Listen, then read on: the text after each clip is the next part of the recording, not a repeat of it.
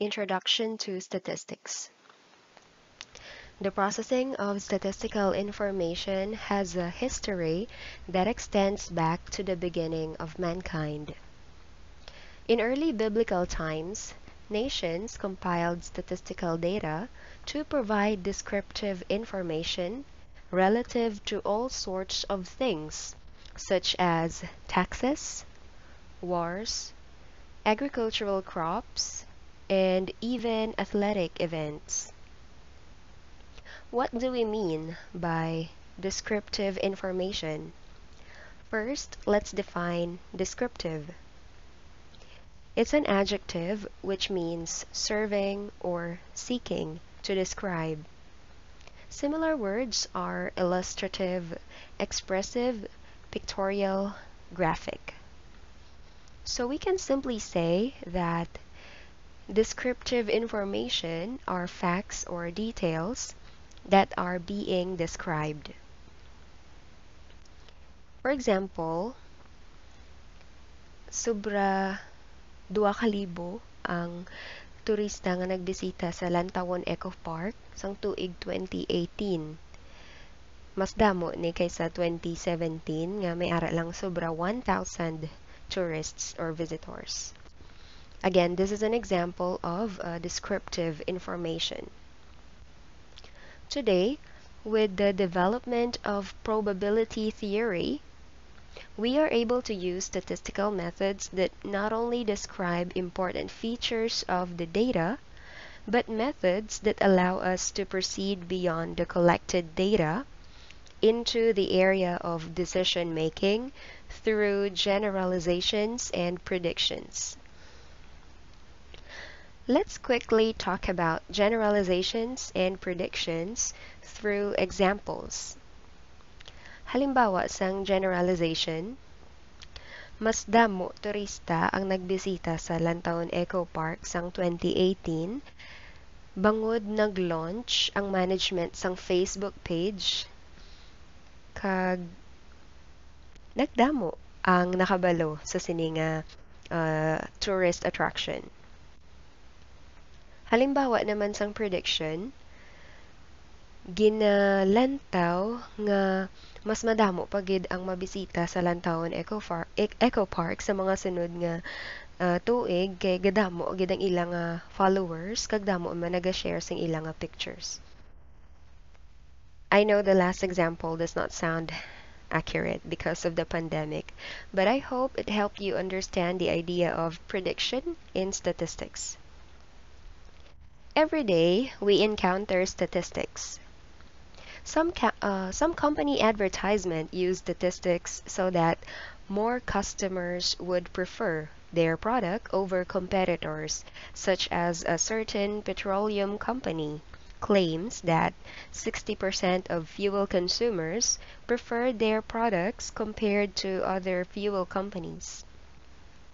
Statistics is also used to show the quality of a product just like the claim of Safeguard soap. The company advertises that their soap can kill 99.99% of germs. There is a wide application of statistics in different fields such as astronomy, business, education, sciences, etc. So after learning the background and hearing some examples, the question is, what is statistics? There are many ways books define the word statistics. Let me share one. So statistics is the science of, let us use the acronym CASID. First is C, it stands for collecting. So statistics is the science of collecting data. It also means gathering data. For example, gusto mabalaan ni Joshua kung ano ang flavors sang ice cream nga pinakagusto sang iya customers. So nag-survey siya, naghimo siya questionnaire. Ginkuha ni Joshua ang mga sabat sang iya customers. Amo ni siya ang ginatawag nga collecting or gathering data. The next is A, that is analyzing. Halimbawa, gusto ni Joshua uh, or gin-isip ni Joshua kung pila ang customers ang may gusto sa amo nga flavor. Ginlantaw niya kung bala parehas lang ang gusto sang uh, mga customers niya, whether bata pa ni or mga tigulang na ni or kung babae man ni or lalaki. So that is analyzing. Next letter is S and it stands for summarizing. For example, naghimo si Joshua sang table or graph nga nagapakita sang ice cream flavors kag kung ano kadamo ang customers nga nagpili sa amo nga flavor. So that is summarizing. The next letter is I and that means interpreting. So that's interpreting data. Halimbawa, sang naproseso na ni Joshua ang mga data, nakita niya nga chocolate flavor ang pinakagusto sang kadaman sa iya customers, especially sa mga bata. Sa mga may edad-edad, ya mas gusto nila ang ube kag cheese flavor. So, muna siyang in example sang interpreting data. The last letter is D. It means drawing conclusions from data. So, for example, so after nag-survey ni Joshua, nabalaan or nakita niya nga lain-lain ang gusto nga flavor sang iya customers kung edad ang istoryahan. Or nakita niya man bi halimbawa nga babae man or lalaki halos parehas lang man ang gusto or wala gid man diferensya. So that is an example of drawing conclusion. So again, Statistics is the science of collecting, analyzing, summarizing, interpreting, and drawing conclusions from data. Now we have another definition of statistics. We define statistics as a branch of mathematics that examines and investigates ways to process and analyze data gathered.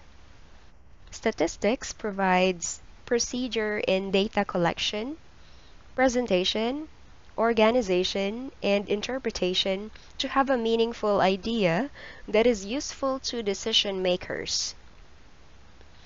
So, parehas ang example ta. Si Joshua naka-generate sang meaningful ideas because of the statistical procedures he performed. It helped him in decision making he decided to produce and sell more chocolate ice cream in areas where there are many children.